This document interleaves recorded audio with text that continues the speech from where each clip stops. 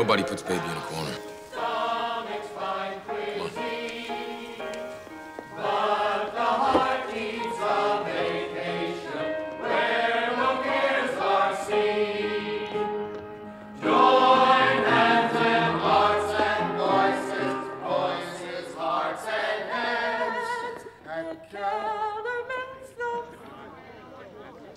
Sorry about the disruption, folks.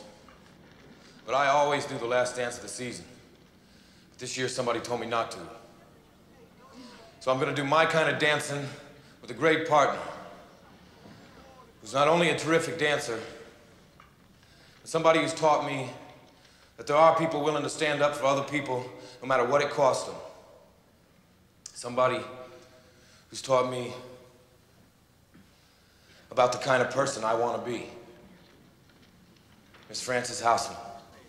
Sit down, Jake.